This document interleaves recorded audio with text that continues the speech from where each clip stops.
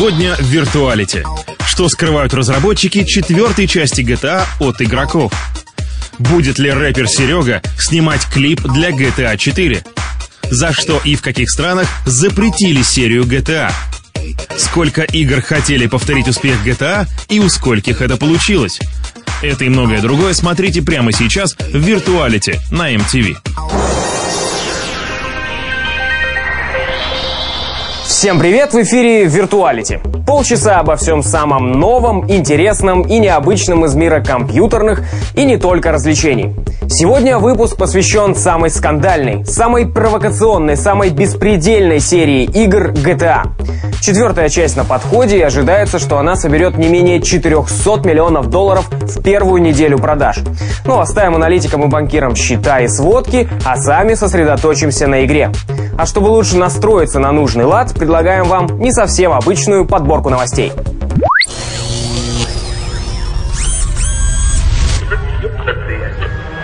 Скоро выходит адвенчура Мата Хари. Это история про танцовщицу, но не в стрип-баре. Эта чика была популярной в начале прошлого века, и поэтому была знакома не с одним влиятельным человеком. Как оказалось, Мата Хари была шпионкой-разведчицей. Французы узнали об этом и закрыли ее навечно. Теперь повторить ее подвиг предстоит геймеру. Добывать инфу, раскрывать секреты хватает шпионского гемора. И все это под видом танцев, как реальная Мата Хари. Shake it, shake it, shake, детка. Ждем игру в третьем квартале.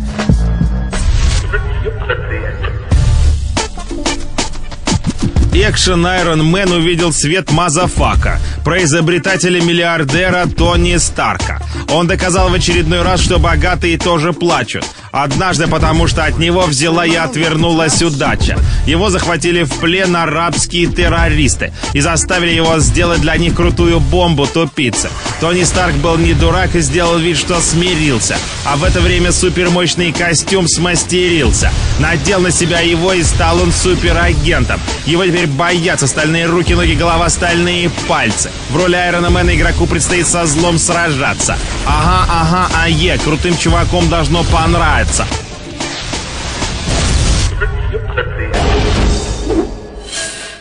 65 звезд NBA будут топтать площадку. Хочешь быть звездой баскетбола, хватит играть в прятки. Выходи, сразись один на один или двое на двое. Графика и геймплей тебя должны устроить.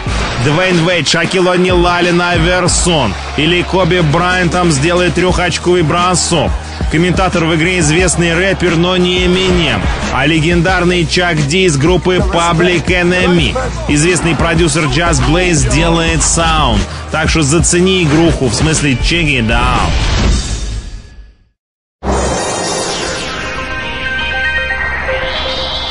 После такой вольной трактовки игровых новостей, думаю, вы готовы отправиться в мир гангстеров, наркобаронов, наемных убийц, распутных женщин. Ведь без них мы и представить себе не можем серию Grand Theft Auto. Ну или по-русски «Великое автомобильное воровство».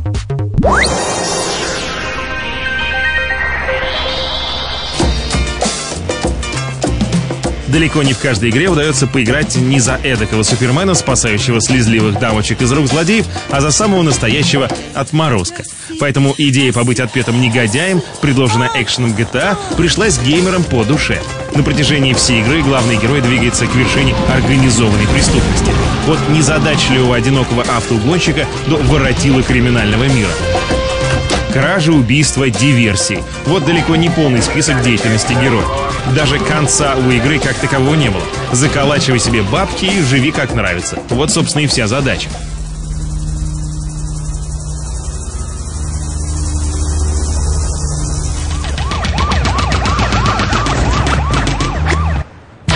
И когда в 99 году вышла вторая часть игры, поклонники были довольны. Еще больше криминальных организаций, еще больше преступлений, еще больше отмороженности и полноценная сюжетная линия о том, как главного героя предали. Но настоящим хитом игра стала после выхода третьей части, причем таким, что первые две серии стали раздавать бесплатно. Сегодня GTA и GTA 2 можно совершенно свободно скачать на сайте разработчиков. GTA привнес в игры то, чего в них еще не видели — полную свободу действий. Например, третья часть дала возможность зарабатывать деньги совершенно легально. Можно было стать таксистом, пожарным, водителем скорой помощи, сутенером. Ну, в общем, это, конечно, не всегда легально, но довольно близко к этому. Свою популярность GTA 3 обрела то ли потому, что персонажи озвучивали настоящие голливудские звезды, такие как Майкл Мэтсон, Сэмюэл Л. Джексон, Джеймс Вудс и другие, то ли потому, что игра стала полностью трехмерной и давала игроку практически полную свободу передвижения по огромной территории целого штата. А возможно потому, что встроенная радиостанция позволяла постоянно быть в ритме цивилизации и культуры 90-х. Может быть и потому, что в игре появился стрип-клуб, где девочек можно было использовать по тому самому назначению. В смысле, по назначению стриптизер. Действие всех серий GTA происходит в вымышленных городах. Однако в них безошибочно угадываются такие мегаполисы, как Нью-Йорк, Сан-Франциско, Лас-Вегас, Лос-Анджелес и другие. Возможно, поэтому власти этих городов входят в первые ряды GTA-ненавистников. И ладно бы ненавидели тихо, но нет, любимую игру не раз пытались запретить. Почему и как – это тема отдельного сюжета.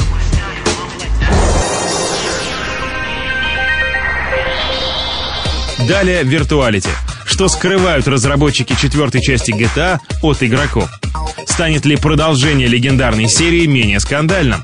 И как творение рэпера Сереги стало саундтреком GTA 4?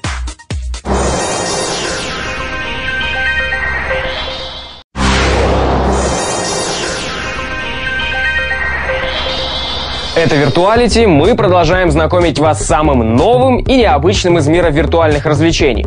Серия GTA связана невероятное количество судебных разбирательств. Вот и сейчас, перед выходом четвертой части, стало известно, что для Австралии игра выйдет с самыми жесткими возрастными ограничениями. Из нее исчезнут многие соблазны преступного мира, за которые мы так любим GTA.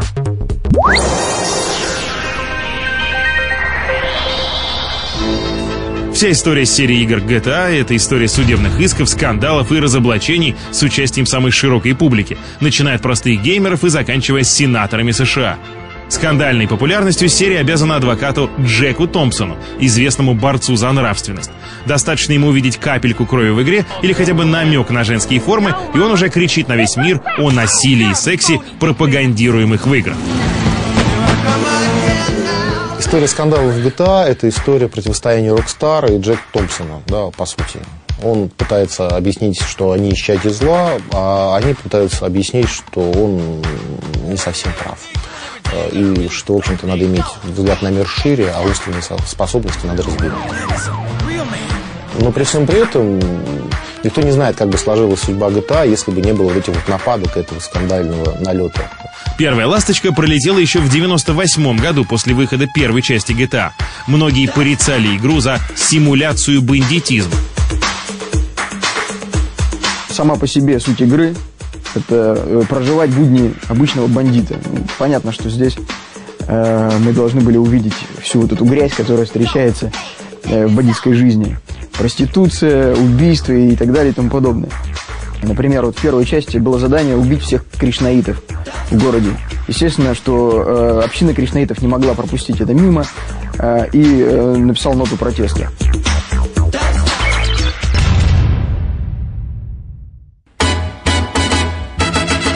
Новая серия скандалов ждала своего часа после выхода GTA Vice City. Поводом для негодования стала всего одна фраза «Перебейте всех гаитян». Гаитяне, конечно, обиделись и сказали, что больше не будут играть в эту ужасную игру. Были судебные иски, но это ничто по сравнению с тем, что было э, в части э, GTA San Andreas. А случилось так, что один поклонник игры поменял в игровых файлах одно единственное слово. И вы только себе представьте, главный герой получил возможность на иметь женщин. Ну, то есть э, мог он и раньше. Только после модификации весь процесс стал живописно демонстрировать все во всех деталях. Ну, если, конечно, можно так сказать про 10-полигональные модели персонажей. Вначале э, этого, этой возможности не было, но с появлением мода, который э, всеми теперь, наверное, уже э, известен, так называемый ход кофе, горячий кофе, который как раз э, раскрывал открывал, точнее, для игрока эти э, самые интимные подробности. В некоторых странах игра была запрещена, но даже там, где этого не произошло, вступили в силу суровые запреты. Ассоциация издателей Америки э, рейтинг э, поменяла на 21, 21+, то есть приравняла игру фактически к порнографии. Скандалы с GTA сделали серию знаменитой, но одновременно измотали создателей бесконечными судебными исками. Похоже, что Rockstar обожглись горячим кофе и теперь дуют на воду. В GTA 4 пробралась политкорректность, но... Я думаю, что все поклонники серии, сдаив дыхание и зажав в руках деньги, ждут, не дождутся, чтобы сказать, для себя открыть, как обстоят дела с сексом и насилием в GTA 4. Мы увидим все, все, так, же, э, все так же ограбление, мы увидим все так же бандитизм, э, взлом автомобилей, выкидывание людей из э, кабин этих автомобилей, убийства, жестокие и менее жестокие, тем не менее, убийства. Появились слухи, что и для GTA 4 уже существует мод аналогичный ход кофе, раскрывающий перед игроком все прелести игры. Правда это или нет? Скоро узнаем. До выхода GTA 4 остаются считанные дни.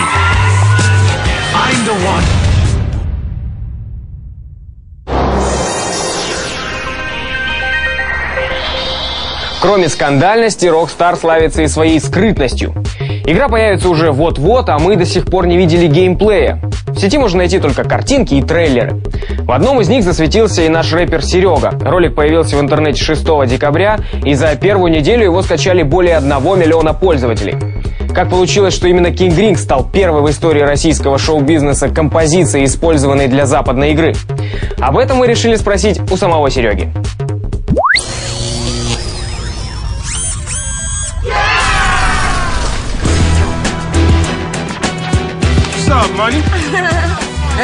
Не совсем э, представляю себе, почему именно вот King Green как, как, как песня, как композиция была выбрана в качестве музыкальной подложки к GTA трейлерам.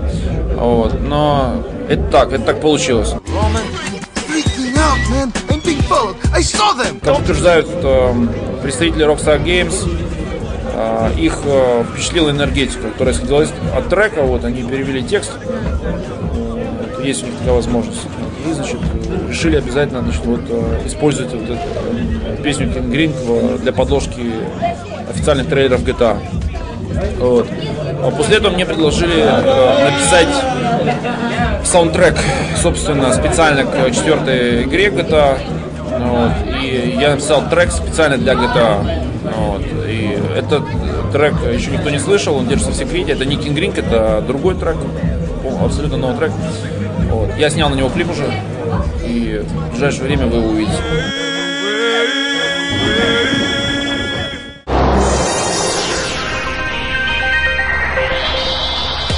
Далее виртуалити. Сколько игр хотели повторить успех GTA и у скольких это получилось? Что общего у Романа Трактенберга и Тони Версетти? Что ждет нас в четвертой части GTA?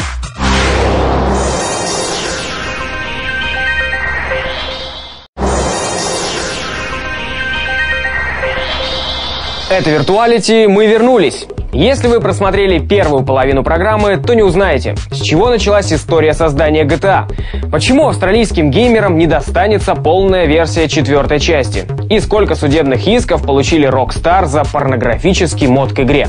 Но нам еще есть что рассказать.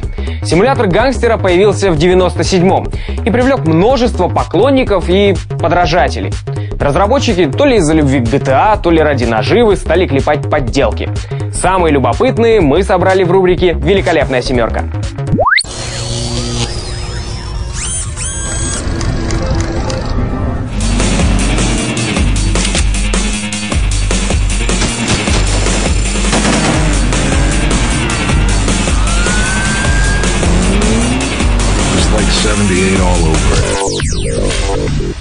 Седьмого места удостоилась подделка Трахтенберг в Мадриде.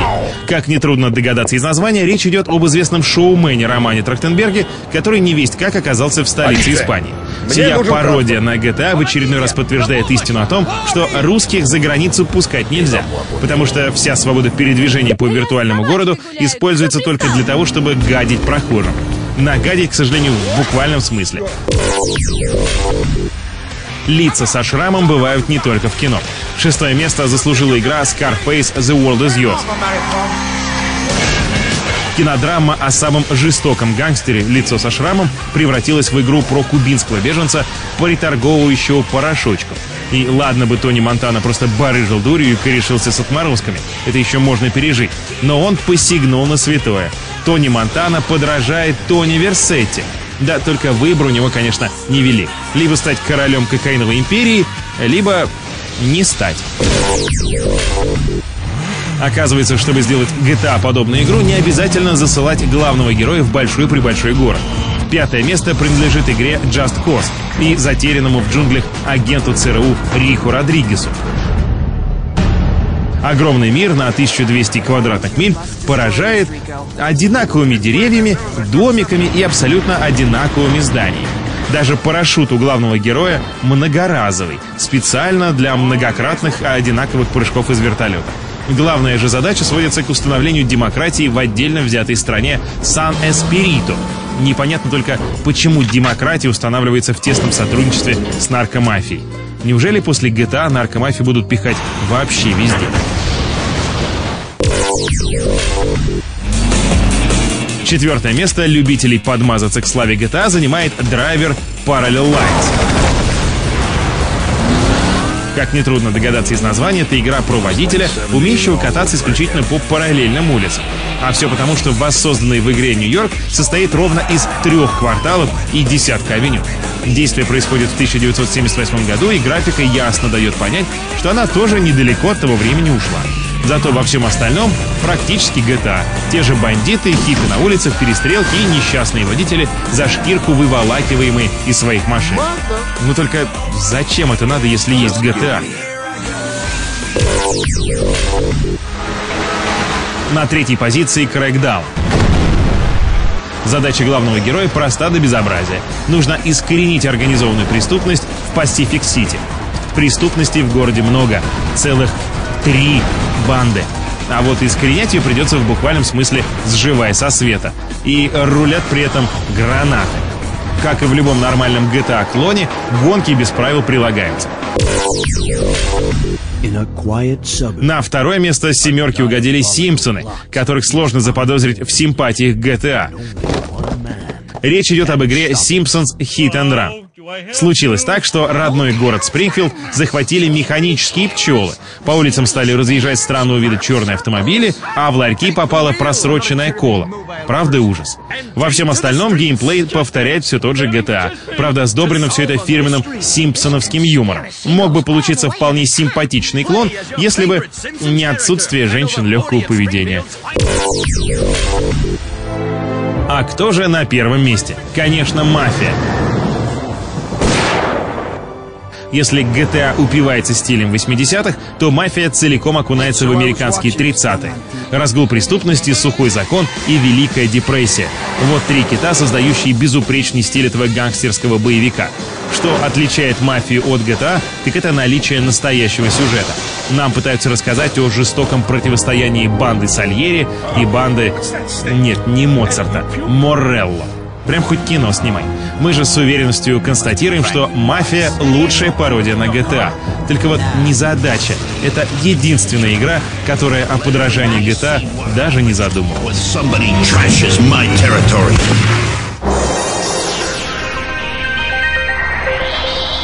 Как вы понимаете, ни одна подделка, даже такая как «Мафия», не заменит оригинала.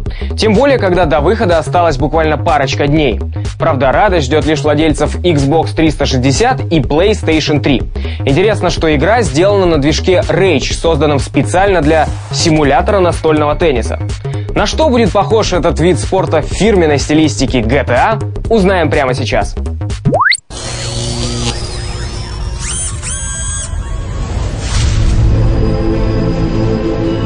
На что похож GTA 4? Мы собрали 6 известных на сегодня фактов. Это все, что согласились раскрыть разработчики перед выходом игры. Факт первый. Главную роль в сюжете GTA 4 играют выходцы из стран Восточной Европы, в том числе России. А что оставалось парням делать? Потому что там наши афроамериканские друзья там уже были, в общем, и с кем мы только там не боролись, и что только там не происходило. И нужны были другие выпуклые персонажи. Главный герой Нико Белик, согласно сюжету игры, приехал то ли из бывшей Югославии, то ли из России. Нам прозрачно намекают, что Нико — сокращение от имени Николай. По всем замашкам этот парень русский. Факт второй. В списке радиостанций, коими знаменита вся серия GTA, появится «Русская волна». Там будет много русской музыки. Причем не абы какой, а вот группа «Ленинград» была замечена там. Ну, разумеется, и Серега тоже. Куда уж из нашего флагмана хип-хопа и вообще, так сказать, э, позитивного образа жизни и спортивных штанов Сергей, так сказать, Пархоменко, друга и брата. Респект.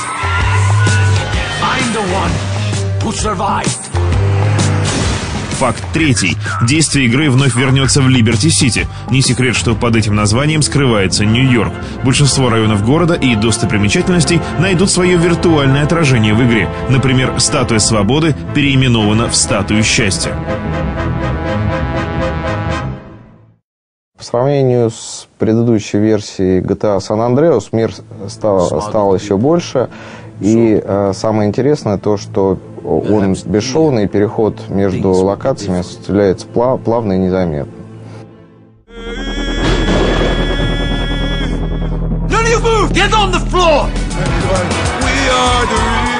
Факт четвертый. Версия игры, которая появится 29 апреля, будет неполной.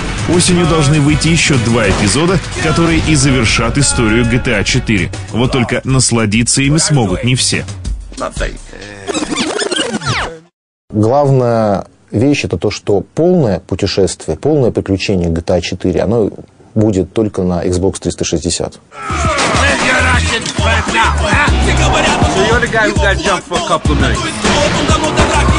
Факт пятый. Впервые в серии GTA игровой мир будет доступен одновременно многим игрокам.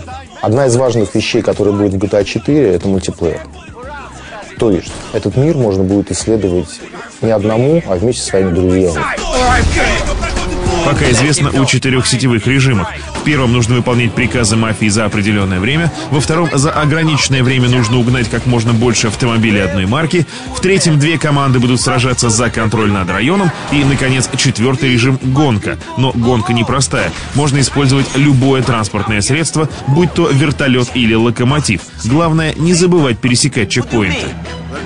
И, наконец, факт шестой. GTA 4 имеет возрастные ограничения, так что купить игру смогут лишь совершеннолетние. Я видел эту игру в действии, да, можно сказать, немножко даже щупал ее своими руками. Это реально очень круто.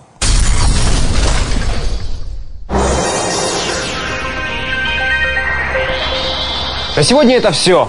Не пропустите следующий выпуск Виртуалити. Вы узнаете, какие игры ненавидят геймеры, что ждать от проекта Two Human и как будет выглядеть Mass Effect на компьютере. Увидимся на следующей неделе. Пока!